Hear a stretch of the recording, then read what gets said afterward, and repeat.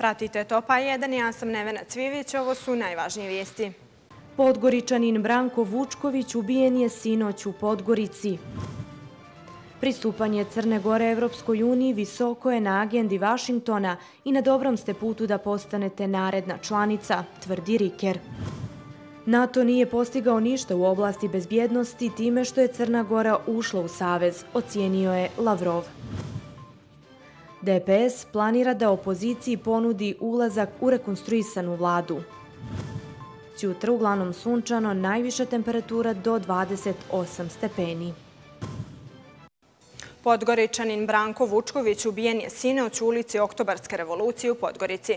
Vučković je nakon ranjavanja prebačen u klinički centar, ali je jutro spreminuo. Prema nezvaničnim saznanjima portala Standard, ubica se krio iza kontejnjera i čekao da Vučković parkira motor ispred kafića Gaming Puba, zatim istrčao i zapucao. Standard piše da je Vučković došao da se pridruži društvu u obližnjem kafiću. Čim je ugasio motor i pokušao da siđe, ubica je istrčao i pucao mu u leđa. Očevici tvrde da su se čula dva pucnja. Ubica je pobjegao trčeći između zgrada u naselju Peyton. Očevici okolnih zgrada ispričali su policiji da se muškarac vrzma oko kontejnera i da je imao kačket na glavi. To bi moglo da ukaže na to da je ubica znao da će Vučković doći u kafić, tada je riječ o sačekuši. Pristupanje Crne Gore Evropskoj uniji visoko je na agendi Vašingtona i na dobrom ste putu da postanete naredna članica, saopštio je pomoćnik američkog državnog sekretara Filip Riker tokom susreta sa predsjednikom Milom Đukanovićem u Njujorku. Za Balkan nema rješenja van konteksta evropske i evroatlantske integracije, posebno imavši u vidu za ostajanje za Evropom i njenim demokratskim i ekonomskim razvojem, ocijenio je Đukanović. Susretu je prisustvovao i zaslanik za Balkan Matthew Palmer.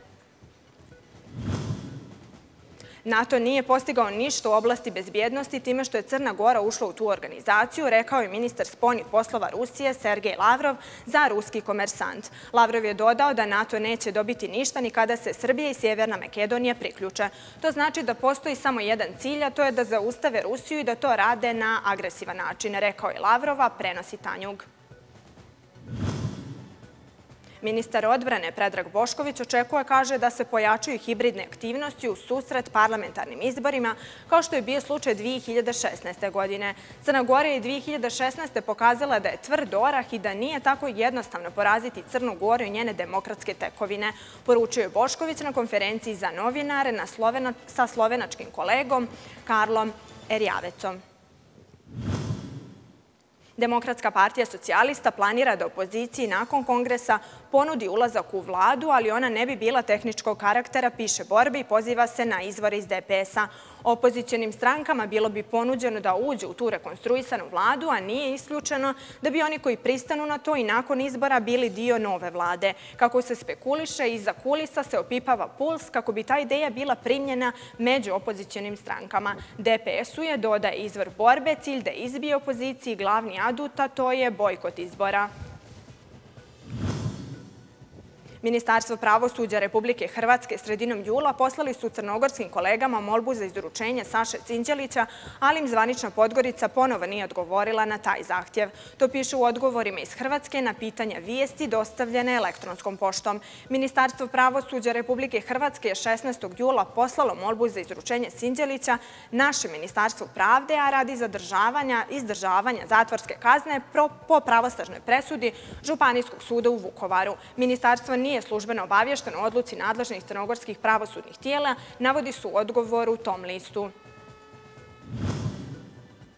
Neosnovane tvrdnje u određenim medijima da nadležni organi ne odgovaraju na molbu Republike Hrvatske za izručenje Saše Cinđelića odgovaraju iz našeg Ministarstva pravde. Imamo redovnu komunikaciju sa Hrvatskim Ministarstvom pravosuđa i nijedan upit nije ostao neodgovoren, tvrdi crnogorska strana. U toku je procedura pred sudom. Nakon što sud odluči o slučaju Sinđelić, ministar pravde donijeće konačnu odluku o izručenju, bit će zasnovana na zakonu i uvažavaće stav suda u ispunjenosti uslova za izručenje, poručeno je iz Pažinovog resora. Poslanik Aleksandar Damjanović tražio od vrhovnog državnog tužioca Ivice Stankovića informaciju dokle je stigla istraga o tome kako je privremena uprava Atlas banke umanjila depozite za skoro 22 milione eura zatvaranjem kredita jednih klijenata, depozitima drugih, kao i kakav je ishod istrage o e-komerciju u Atlas i IBM banci prije stečaja. Obje banke bile su u vlasništvu Duška Kneževića. Damjanović od Ivice Stankovića traži odgovor na pitanje da li tužilaštvo provjerava bavili se neke druge banke i komercom. Vladimir Bilčak, novi je presjedavajući Evropskog parlamenta pri odboru za stabilizaciju i pridruživanje između Evropske unije i Crne Gore. Bilček je slovački poslanik i član Evropske narodne stranke. Poručio je da mu je drago što je izabran i da će funkciju obavljati odgovorno. Odbor koji preuzima slovački poslanik i sačinjavaju evropski i crnogorski parlamentarci i on je na više sastanaka razmatrao crnogorske političke i ukupne prilike i usvaja preporuke za dalje.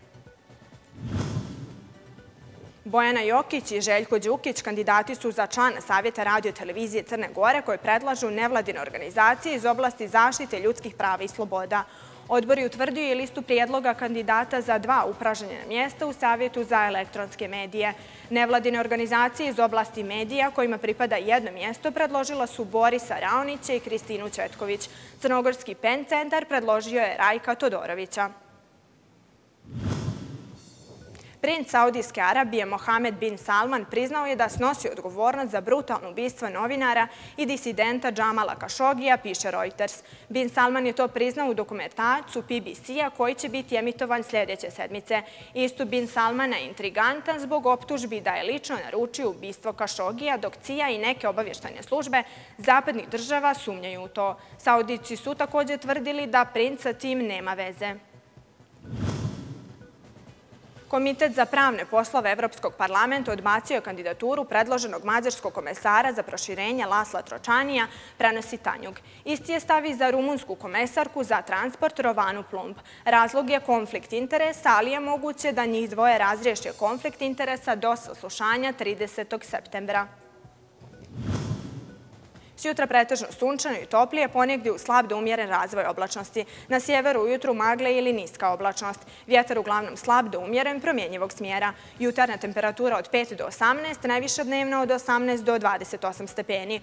U Podgorici pretežno sunčano, vjetar slab da umjeren i promjenjiv. Jutarna temperatura oko 15, najviša dnevna oko 27 stepeni. Pratili ste Topa 1. Hvala na pažnji.